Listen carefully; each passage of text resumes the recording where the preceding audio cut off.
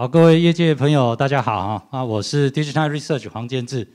那今天非常高兴有这个机会来跟大家做这个分享。那我知道在座今天的话，我们谈到的是所谓的云端跟 AI 相关的发展哦。那在座其实也蛮多这业界先进哦，不管是在技术方面呢，或者是在真正的一个落地的案例上，都有很多的一个丰富的经验。那我想我今天的话呢，我想从一个五 G 的角度来切入，来跟大家分享。也就是说，从我们这边角度来看到整个五 G 的发展，以及它在 B to B 的应用上面，接下来怎么走的？那可能带大家来这观察一下整个的发展啊。那其实我们谈的应用的话，我谈主要谈三个部分哦。第一个就是智慧城市的应用，第二个是智慧制造，那第三就智慧医疗。哦，那其实智慧城市这个应用，在谈这个之前的话，我们先来看一下整个五 G 的一个发展的一个背景哦。那目前的话，我们看到就是说，整个五 G 的发展的网络的话，这边是一个就是说，你可能是投资或者是部件五 G。的一个电信业者哈，那其实呢，在大概在过去几年哦，二零一九年、二零二零年以及到二零二一年哦，大部分都是在年底哦，不管是第四季或第三第三季的时候，有比较多的业者投入。那我想呢，接下来这一波的话，可能比如说像印度，算是一个比较大的市场哦。印度在今年的话，它可能就会展开五 G 频谱的一个标竞标标售的一个动作。那另外的话，在这个东南亚地区的几个国家，还有拉丁美洲，那要不然的话，主要在一些比较成熟市场，像欧洲啊、美国啊，啊或者中国以及日本、韩国等等，这个五 G 的服务都已经是上路了。那我们看一下整个用户的发展哦。那其实今年的话呢，整个用户的发展的话，四 G 的用户大概是到达一个高峰了，也就是说。呃，四 G 接下来几年的话，它就会慢慢的跟五 G 呢有这个替换的效应。那五 G 的话呢，在二零二一年的年底的时候呢，它整个用户数达到是六点六亿哦，大概是这样子的一个规模。那其实呢，这个数字说有一定的基础啊，它过比以前四 G 发展的算是来得快啊。不过我想在座你假如说跟周围的人聊起来哈，这个。哎，好像换五 G 手机的呃有了哈。你假如说是用 iPhone 的朋友的话，可能你自动就会 upgrade 到五 G 啊。手机有五 G 的能力，但是呢，你其实本身的话，可能这个还没有换成五 G 的门号、五 G 的账号哈。所以基本上大家每个消费者都在思考说，哎，这个我换成五 G 哦，到底可以做些什么事情？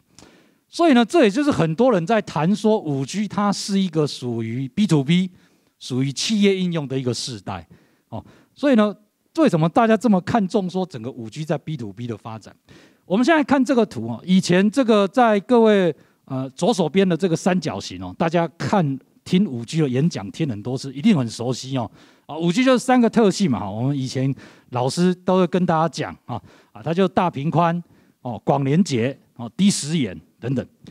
不过接下来呢，在去年的一个 NWC 上海的一个展会里面哦，他提出了几个厂商提出一个概念，就是说呢，这五 G 的话呢，把这三个这个特征做两两的一个搭配之后呢，其实它的应用的话，对于未来 B to B 应用的场景会更加落实。第一种应用我们称之为叫做 UCBC，就是大频宽的上传。哦，那大家我们可以想象，就是说现在城市周围周遭的那种 camera 越来越多了嘛。那这个 camera 里面呢，我们现在其实以前的这个是每个接口的那种所谓的道路的一个监控哦，其实可能它解析度比较低的。那接下来你的解析度越来越高之后，你要在那么多的节点、那么多的 node，然后你要上传那么大频宽、高解析度的影像哦，这个是需要很大的一个突破的。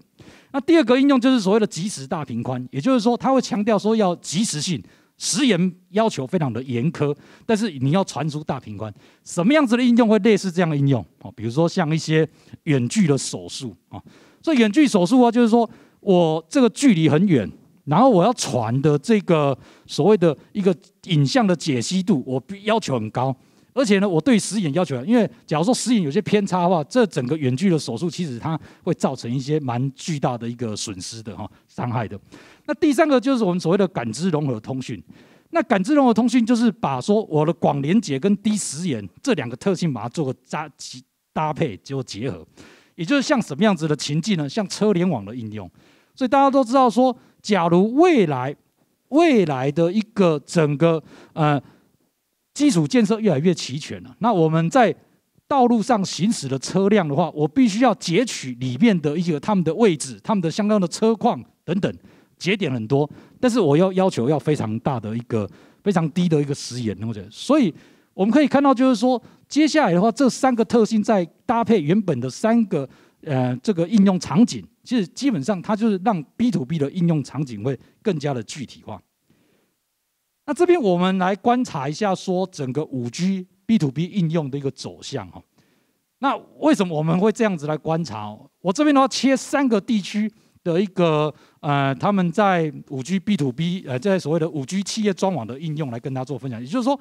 我们先来观察这些国家他们在做企业应用到底在做些什么。那或许也可以给各位哈，各位你们可能本身就在跨这个领域的，那就可以做个参考。第一个就是我们看德国，德国的话呢，他们有发这个所谓企业专网的一个执照，那它企业专网的执照很便宜哦，大概就是一千欧元起跳哦，这个频谱使用费。那当然，企业专网就会跟你使用的一个多少频宽有关系哦，然后你用的范围多大哦，这个有关系。好，我们看有哪些种类呢？第一大类的就是叫做系统整合业者哦，系统整合业者他们有。也去申请这个企业专网执照，但是通常企业专网这个系统整合业者，他申请企业专网执照是做什么用？他主要其实就要做一个类似一个展示啊，哦，就是这个炮火军，呃，军火商的一个展现他的实力。那比较关注的是第二大类的，就是所谓的制造业哦。那大家他常说这个呃，德国它是制造大国，工业四点是他们最强，所以他们的制造业不管在汽车、电子制造、机械设备、航太、化工等等。啊他们这些业者也都蛮多 leading 的一个厂商都有来申请这个所谓的企业专网执照。那接下来有几个场域哦，也值得大家关注了。比如说像展会哦，像展会这样子的一个场域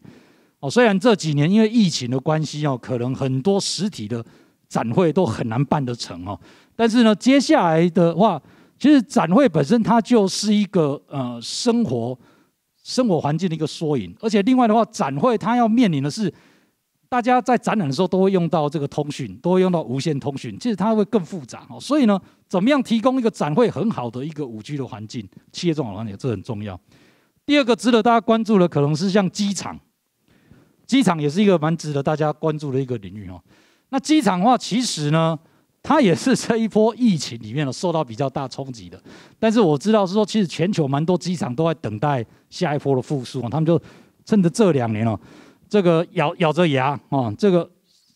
整个营运状况非常不好，但是呢，他们还是持续的在投资一些所谓的智慧机场的规划。那这时候他们的投资就不管包括了什么，包括了空侧。的一个飞机停机坪这边要用的，以及包括说路侧地面整个航空这个机场大楼里面要用到的一个相关的五 G 的应用。那最后一个医院这个场景也是一个蛮值得大家关注的。虽然他申请这个德国专网的一个执照的一个业者个数不多哦，不过我个人认为这是蛮值得大家来做后续关注的。第二个国家我们看到日本这个状况哦。日本也有做所谓的企业专网哦，那他们本身的话，他们叫做 local 5G 哦，就是那日本的企业专网，其实呢，它算是从地方政府这边呢，也可以进来做这个申请哦。那它的这个参与的业者也蛮多元化的。第一类大类的就是所谓的制造业者，那制造业者这边我们看到就是说，比如像 NEC 啊、富士通啊、啊三菱电机啊、QC 啊、Hitachi 等等。那这些业者呢，很多是自用哦，他很多就是说自己自己要来使用这个呃五 G。那有些呢，像 NEC，它或者富士通本身呢，他们就是希望就是说，哎，它可以这个透过这样子的一个呃五 G 状况来展示它的实力。那第二大有线电视业者就是做做一个 last mile 了。那网络业者基本上也是未来的要做 SI 的一个准备哦。所以这是日本的案例。我们接下来看到的是这个美国这边的案例哦。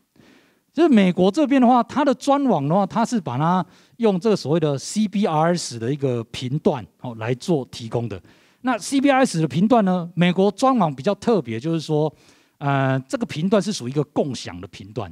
也就是说，这个频段上面有很多人在使用。以前呢，这个频段最早是属于这个军事方面的用途。那军事用途的话，因为后来发现说，美国政府 FCC 发现说，其实这不是 always 有人在使用，所以他他就把他拿出来标，所以叫 PAL。PAL 这个执照就是说，你必须要竞标才可以拿到这频谱的使用权。哦，那可是呢，假如说军事卫星要用的时候，你就不能用；但是呢，它没有用的时候，你就可以用。哦，那最后一个，这个还更使用权限最低哦，这个连我去竞标都不用，这叫 GAA 的一个 GAA 的一个这个使用权。哦，所以呢，其实有两种类类类型的业者都可以做企业专网。第一个就是你是 GAA 执照的。就是随便没有人在用，你就可以用。那第二个是有去竞标、付出付钱得到频谱使用权，就 PAL 的这个业者。那想当然了啊，就是说 CBRS 美国这种模式的话，就是说必须要有一个专门在侦测这种现在的无线电波有没有人在使用哦，这这样子的一个机制，有这种厂商存在。那第二个，我们看到说，到底是谁拿到 PAL 的这个执照？前面这三类都是属于提供所谓的。Connectivity 就提供联网这个需求的哈，那它就比较像一般的这种 Internet Service Provider。但是呢，第四类这一种，我们看到说有电力公司哦，我想上个礼拜这个大停电哦，大家对电力电网这个需求哦，其实这个议题的话，美国也是很注重啊。它特别它有很多这个呃电力公司哦，所以他们也有来标这个频谱。那第二个的话，就是像 JBG Smith，它是一个房地产公司，房地产业者。他也来标这个企业专网的一个频谱，那还有像这个油田开发的哦，Chevron 这边，他也有来这个标这个企业专网的频谱哦，所以我们可以看到说有这几个应用的方向。所以总归来讲呢，就是说目前研究机构对于五 G 企业专网的一个呃初步的统计哦，大概是像这样子，基本上制造业还是最大的一个区别哈，区隔哈。那另外的话，像这个空港、海港就是机场跟港口。这边也是蛮多人在在打造的哈。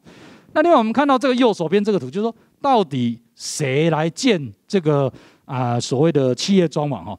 基本上目前比较大的一个案子的话，还是由这种所谓的电信网络设备商来拿到这种案子哦。可想而知，就是说，比如说像传统的电信设备商，像阿里信啊、Nokia 啊这些算是比较大的。那另外当然还有一些其他比较地区型的。那另外的话，就是电信业者 （communication service provider） 这边的话，其实他们也是做企业装网里面部件的蛮重要的一个角色。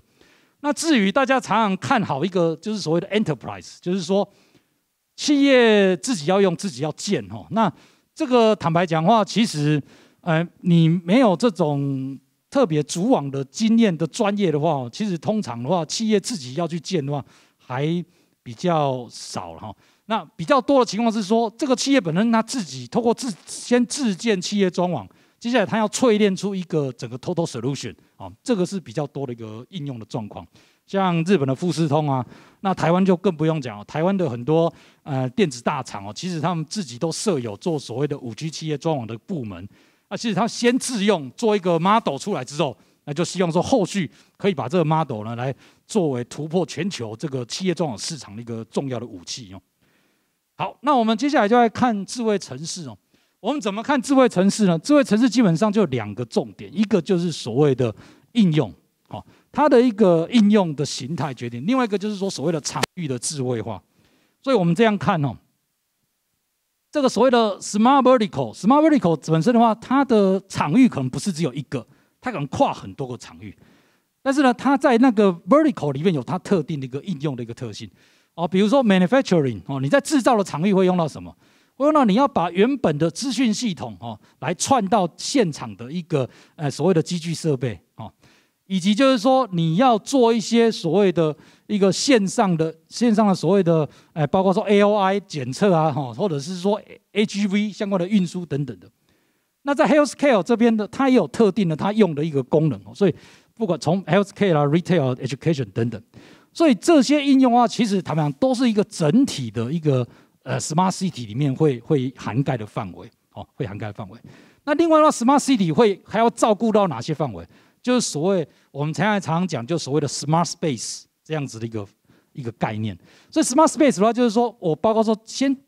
第一步，我先要打造整个城市的 infrastructure，而城市的基础建设。所以包括说城市的联网的环境，以及城市里面像我们这一呃前阵子所谓的一个智慧灯杆这样子的一个议题，所以它都是属于整个 city infrastructure 的一环。那接下来，你不管是在一个公用的一个呃大众运输系统，以及你在一个 CBD 的 area，就是说你在一个中心的商业区这边要怎么做到呃五 G 智慧城市的一个覆盖等等哈。所以这边的话，我们在看智慧城市的时候，基本上就从这两个角度，一个是应用，一个是场域这边来看。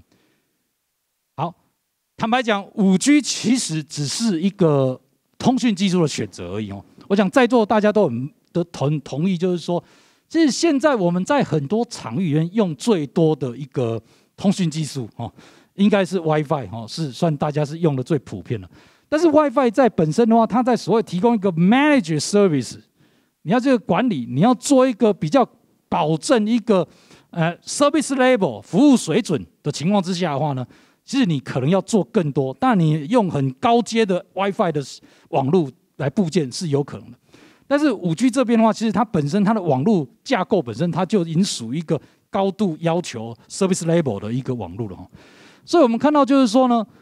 一般来讲，在实体层这边，你在智慧城市有很多的终端来做数位的采集，接下来透过网络，然后到整个智慧城市的运营中心这边的，包括了大数据的计算，包括了城市的服务平台，包括指挥中心，以及包括一些战情式的建制。那到上面的话，才是一些应用，才是一些所谓的呃 smart space。那五 G 有带来什么？五 G 当然就刚刚讲的大频宽哦，低延迟、广覆盖这样子的一个场景。另外的话，五 G 的重点就在于是说，它可以透过虚拟切片的方式哦，来以一套实体网络来满足多元的需求。那当然最后它也是一个其他要用到技术哦，包括说我一些相关的 AI，包括大数据哦，包括等等这些呢，其实都是这应用里面会用到。那第一步的话，你就边需要先截取。哦，比较多的一个资讯。那我们看几个案例哦，它是属于一个整个城市等级的一个案例哦。那第一个案例的话，大家思考一下，就是说，呃，大家常常看到说，这个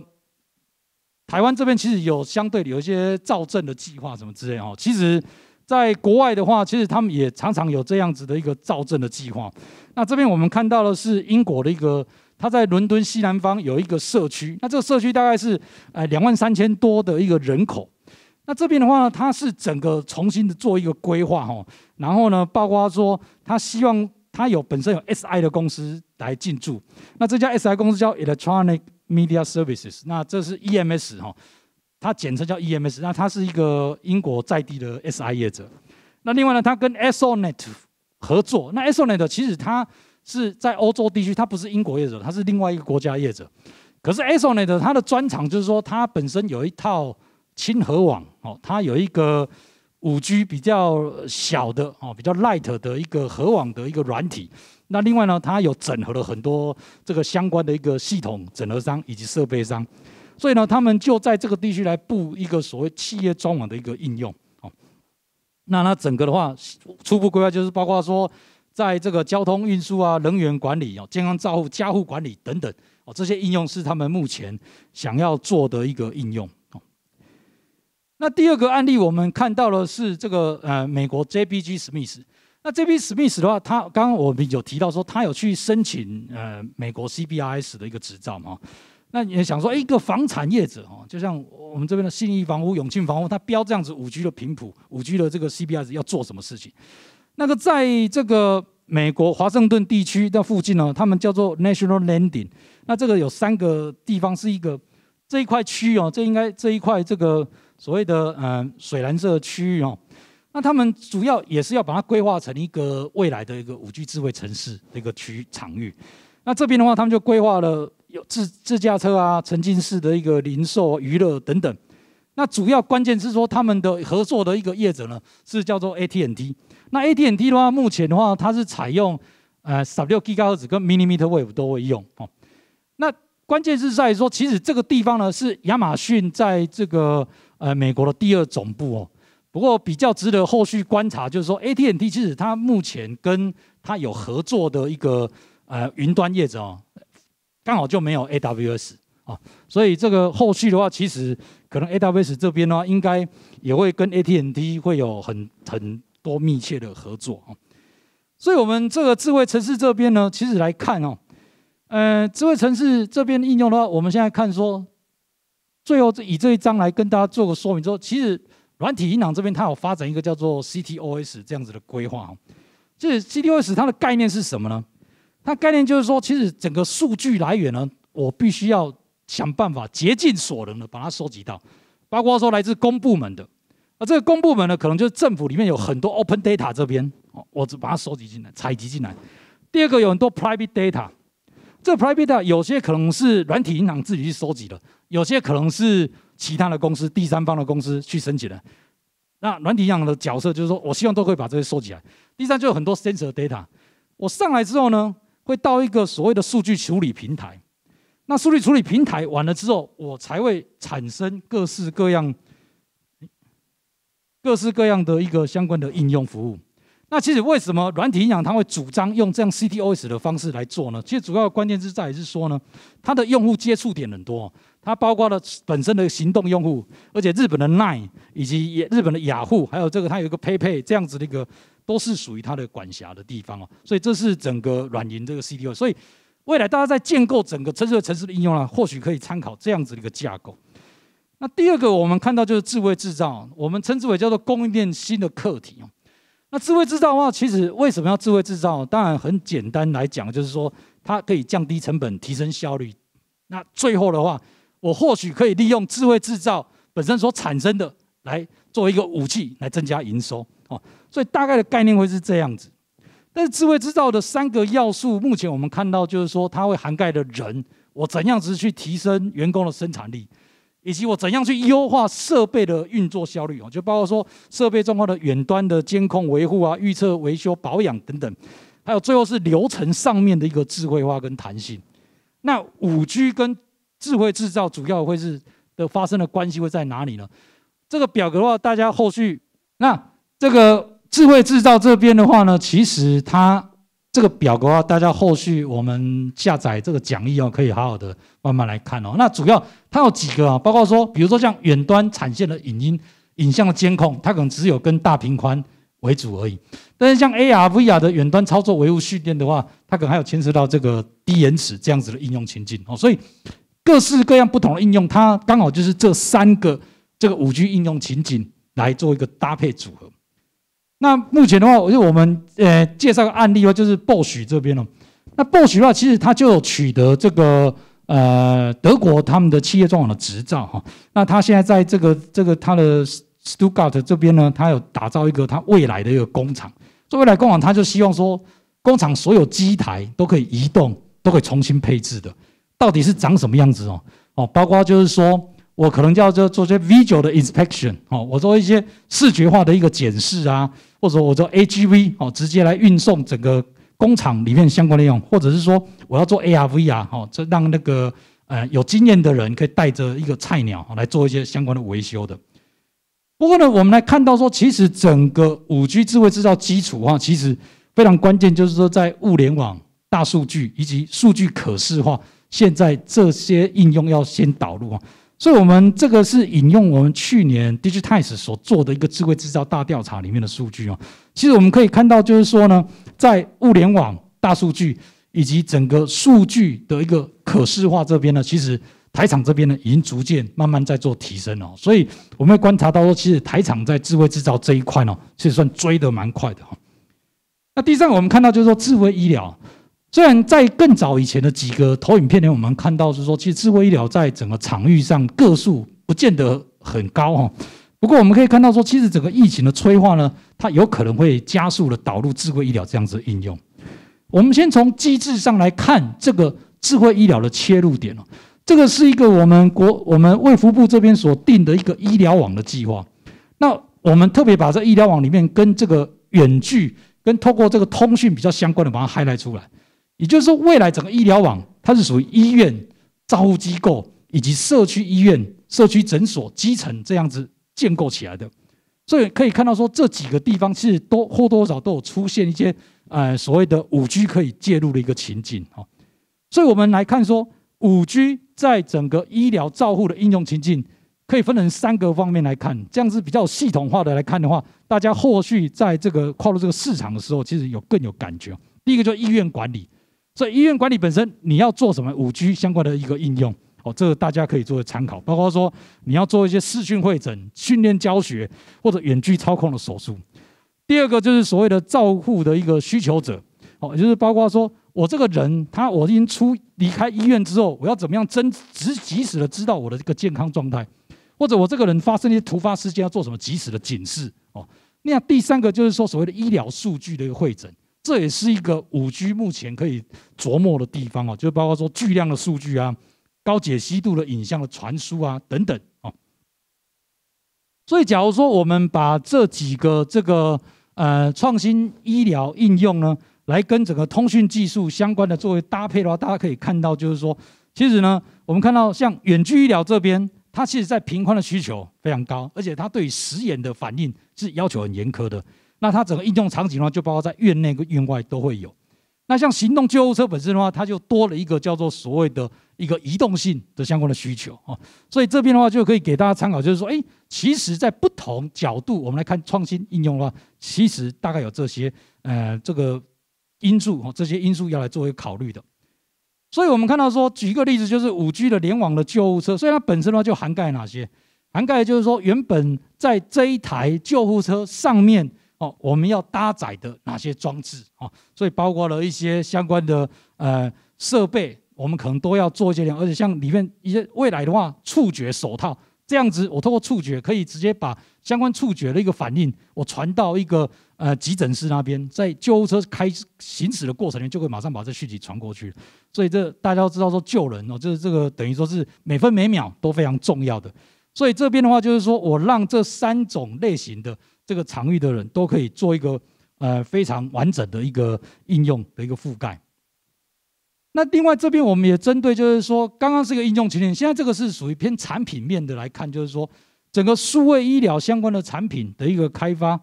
哦方向会是大概是哪样？那目前我们看到说比较大的一个前三名哦，大概第一个就是所谓的病患的一个监测哦，就是说你针对病患里面他的发生的一个状况啊、生理状况等等的，或者说他的一个有没有落岛之类的一个。一个相关的侦测。那第二个的话，第二大类型的一个数位医疗这边就是医检设备相关的一个应用啊。所以这边的话也可以给大家做个参考。那最后的话呢，我们在智慧医疗这边提到，就是说，那在 AI 这边，我们假如以美国 FDA 取得证照证照的一个呃相关的设备来看的话呢，目前的话。是以医疗影像的判读，我想大家也可以知道，就是说影像判读目前 AI 应用在这方面呢，其实是比较多的哈。那未来的话，其实我们发现到说，包括是在疾病的监测预警啊哈，以及整个呃生理数据的一个判读这边的话呢，其实未来也有越来越多的厂商哦，朝这个领域来做一些发展哦。好，那有关这个主题的话，其实我们来提到就是说呢。整个五 G 来讲的话，它跟 AI 之间其实是一个五 G 来讲，它是提供一个更广泛的一个连接性哦。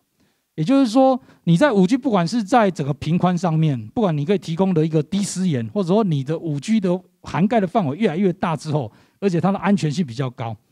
那另外，在对 AI 来讲的话，AI 它除了在用在一些创新的应用之外，其实呢，AI 它本身的话呢，它也可以。非常高度的提升了所谓五 G 网络的一个运作的顺畅性哦，我们可以发现到很多五 G 网络管理里面引用了越来越多 AI 的成分在，它包括说我可以自动去计算说目前在这个场域里面的一个节点的联网的状况，然后再做一些诶个别个别的一个网络的配置。那除了说我们在更上层的一个 AI 的应用之外，其实 AI 本身的话呢，它对于五 G 未来升级到六 G 是非常关键的。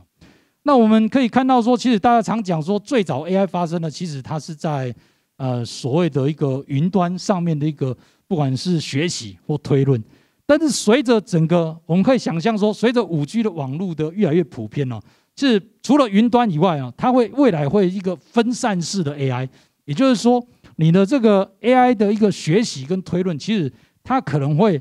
借由这个五 G 高速联网的机制建立起来之后呢，它可以平均的在云端、在边缘端以及在最后的一个终端这边呢，来做一个各式各样的学习，或者是说做一个推论的动作。哦，好。那以上呢，就是我今天呢针对整个呃一个这个主题的一个分享啊，非常谢谢大家的分享，谢谢，谢谢。